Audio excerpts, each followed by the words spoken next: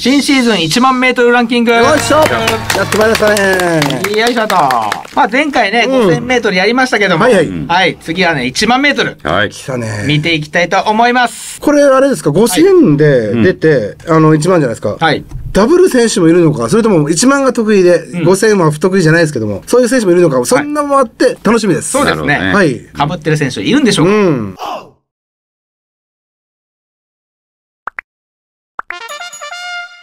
早速行きましょうかね。はいまあ日本人のみですね。なるほど。何？はい。じゃあ行きます。10位から。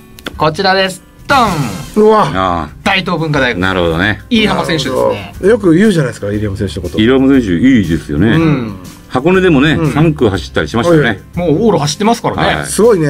で、これ去年の日体大の記録かな、うん ?12 月かな？なるほど。に出しましたよね。うん。去年の記録ってことは今早いってことでしょ？ですよね。すごいよ。次はもう日本人エースみたいになってくるんじゃないですか、このうん方。うんうん。確かに確かに。西川君と一緒にね、引っ張っていく感じになるでしょうね。う。うんん。いや、ちょっと大東文化のすごい時代が来そうな気がします。うん。うん。なんかどんどんやっぱ真名子監督になってからね、うん。うんす。ごい育っていってますよね、選手が。確かに。真子さんのやっぱ教え方もいいのかな。あるんでしょうね、何かマジックが。うん。育成力も。まあ、もともとのね、自力もあるでしょうけど。うんまあ、そうですよね。うん。で大浜君もね、来ますからね、大東大は。そうですよ。ちょっと楽しみなんですよ。浜浜コンビですよ。ね 大浜入浜の。ねえ。はい。うんでも楽しみですね。ねはい。じゃあ次9位。はいこちらです。うんドーン。あそう、はいそうなんですね。そうなんだ。意外と意外。しかも似てますね。13秒ですから。はい。しかもこれね、うんさっきの入浜君と同じレースなんですよ。ああ、はい。じゃあ同着みたいな。ほぼ同着みたいな。ななるほど。ど。だから去年の12月の記録ですね。うんうんうん。じゃあ今強いよね。そう、んうんやっぱ箱根が走れなかったからね。そうですよね国際がね。3秒差で出れなかった悔し3い。秒に泣いてね。ねもう、佐藤春樹くんね、次もう日本人エースになってくるんじゃないですか。うん、そうですね。うんもう最上級生でしょ？そうですね、うんで、全日本もね、3区で素はい晴らしい走りしてますからね。世界クロカンにもね、選ばれてあました、し。そっか。うん。楽しみですね。なるほど。強いですよ。じゃあ、東北ね、僕推してるんで、そうね。はい。で、この佐藤くんの世代って、小林三人トリオの世代なんで、なるほどね。はい。次4年生ですから、はい。ちょっと頑張ってほしい。はい。はい。最終学年でね。うんちょっと一花探してほしい。ね。うんお願いします。次8位いきます。8位こちらです。ドーン。うあ、わ木原俊ちゃん。俊ちゃん5000枚入ってましたね。5000では1位でしたよで。したね。ここで8位だ。しゅんちゃん8位、1万メートルは。えー、6秒ってことで、28分。そうですね、うんこれね、1年生の時に出したタイムなんですよね。あああ、なるほどね。はい。あんまり1万走ってなかったかもしれないですね、うん2年生の時そうね。うん。今測ったらもっといいかもね。もうね、出ますよ。もう27分台が出るんじゃないですか？出るんじゃないで今すか。年あたりに。もう4月とか5月に27分台出しそうですけどね。出しそうですうね。ん。で、急にこの順位が変わってきそうですけど。うんそうですね。うん。そこも大注目と。今の時期だからこれということですね。はい。うんじゃあ、続いて7位。はこちらです。うんドン。あ来ましたね。この人もね、すごいね、やっぱり。前田くあ、これん。全日本予選。そうですね。去年の。うん。いや、よかったもんね、あの走りよかったですもんね。衝撃的でしたよね。デビュー戦ですよね。デビュー戦であれですよ。うん。しかも、暑いじゃないですか、あの時期。暑い。にね。6 9月とかの時期、このタイムはもう27分台も全然出せるです、うん。なるほどね。出せますよ。あーこれ。うん、そして箱根ではちょっと流したような走りでしたけど、うん。ねえ。今年は完全に行くんじゃない？いやーもう盤石でやってほしいですね。ねやってほしい、うん。まあ問題はあれですよね。農大が箱根に出れるかっていう。まあそうね。そこですよね、うんだから予選会ちょっと大注目ですよ。いやー、大注目。ね。まあこの方あの体調さえ良ければ、うん。予選会もねもう日本人1位多分取ってくる、うんいやいや、そうかもしれない。はい、うん。あとはこう層が厚くできるかですね、うん。農大はね。確かに確かに。はい。全日本も素晴らしかったですから。いや、うん。本大注目です、当。うん。じゃあ続いて6位です、うん。こちらドーン。お。わ。あー27分台。い27分台。父ちゃん。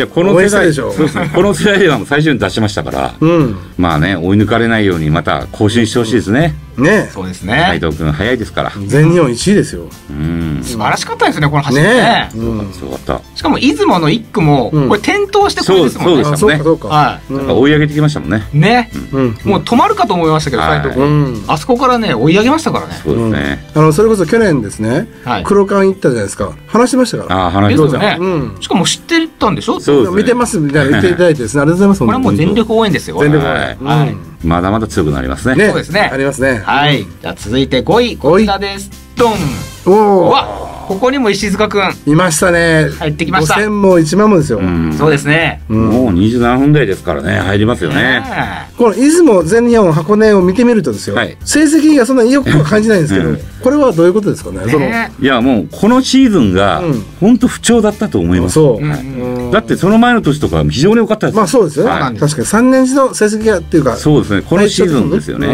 うん動画でもね言いましたけどやっぱちょっと足の出し方がうん。うまくいかないっていう時期になってるらしくて、ー。結構そういうのあるらしいんですよあ選手は。そこを克服してほしいなと思なるほどね。いますね。なるほど。そういうふうな時期があるんだね、なんかそういうスランプ的なね。なる方いるみたいな、なんか言ったらイップスみたいなそういう感じなんですかうん。ねなるほど、いうん。やちょっと頑張ってほしいね。はい、うん。じゃあ続いて4位。おい。こちらです、うん。ドン。お。いやーそうですよね。来まし。たね。平林くん。来はましたねこれは北連の記録かな？うんうんうん。うん全日本のエース区間7区で1位ですから。これですよね、うん。これが嬉しかった。ね。やっぱりエース区間で区間賞っていうのが今までなかったんで、ね。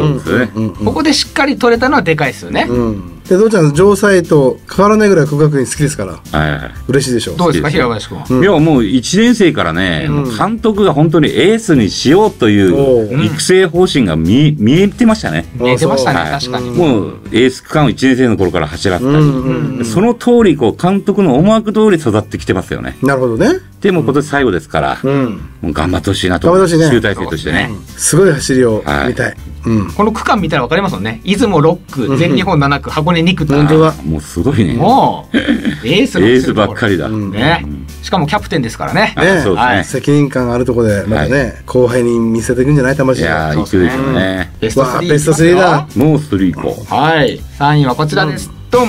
うわあ来ましたね吉田君。来ましたね。うん。ちょっと今日ね丸亀エントリーされててうんうん出れなかったんで、確かに。ちょっと見たかったですけどね。確かに、はい。中学院もねあのちょっと箱根もしかしたらっていうボーダーラインかもしれませんけど。そうですね。まあい。けるんじゃないですか、なんまあか言ってほしい、ね。ね、ちょっとボーダーかなと思いながら、うん。思いながらのあれですけども。丸亀のねうん。結果がねすごい良かったんで、うんあそうですね、はい。確かに確かに。うん、今の勢いでいければいくんじゃないでうん、すかね、いやいやいけそうな気がしますよもちろん、ううんん、うん。で2区でね多分吉田礼志君勝負したいと思ってるんで、ううんうんうんそこを注目したいですね。いや強いと思います。はい。うん。では2位。いいや来ましたね。きますよ、うん。こちらです。誰ドン。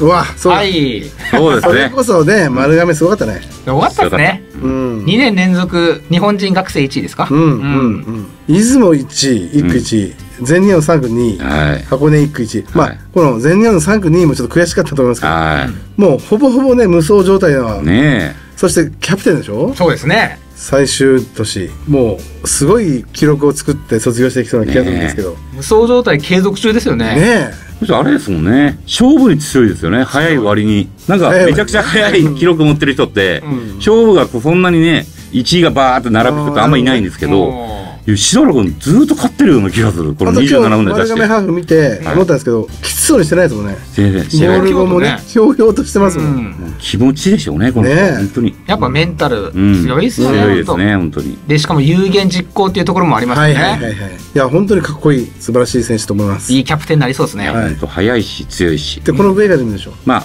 想像できますけどね。おできる、はいどうぞ。うん。本当？できます、できます。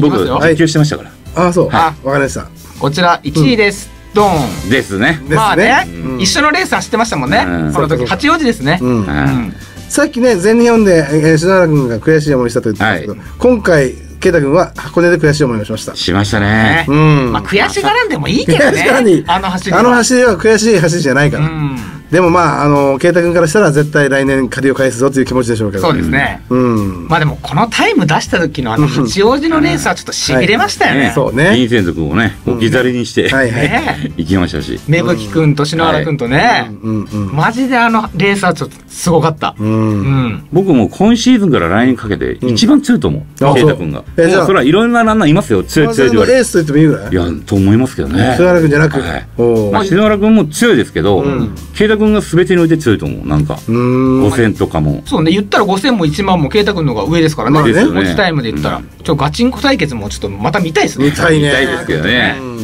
や圭太君にしろ篠原君にしろ、うんあの僕らは実際会ってサインももらったぐらい目の前で見てるんでねかちょっと思い入れもありますねなるほどね、うんお母さんと待ってます会ってますから、はいうん頑張ってほしいな、本当強いランナーですよね。うんでお母さんも見てくれてるらしいんでこのスポーツ大学院を。ほんじゃあもっと褒め応援しましょう。ましょう頑張れいや、本当に素晴らしい。本当オリンピックもね、うん。まあ、あの目指してると思いますんでそうですね。うん。そこまでちょっと楽しみですね、うん。本当に本当に。はい頑張ってほしい。はいいやこういう感じでねーやっぱり1位、2位、駒沢で締めるまのね。だですね。ねやっぱうん持ちタイムいいなてかロードも強いけど、本当にこうやって見ると、やっぱり、新シーズンのこの、えー、三大駅伝、駒沢を中心で回りそうな気もしますね。そうですねですねうんやっぱこうトップ2はこの2人なのかなっていう感じはしますよね。うん。確かに確かに。うんでも27でこれだけ多いと、んまあ出ますよ、他も。本当？うん。どんどん出てきそうでどんすね。どん出てくると思います。うわー楽しみですね。すごい時代になりそう。なんかトップ10が全員27分だ、なありえますよね。し。かも、新入生も強そうですからね、みんな。いや、確そうかに。ですね。うん。いやーどうなるんでしょうね今後ね。新シーズン戦国時代と言われてますけど、はい楽しみです。はいはい。えー次回ねまたハーフもやりますんで。おお、はい。ハーフねこ。れもちょっと楽しみですね。ハーフはハーフで違うでしょうね。この3つとも出る選手いるのかな？いるんじゃないですか？ね、楽しみです。はい。はい。ということで今日はですね、1万メートルランキングでした。おありがとうございました。ありがとうございました。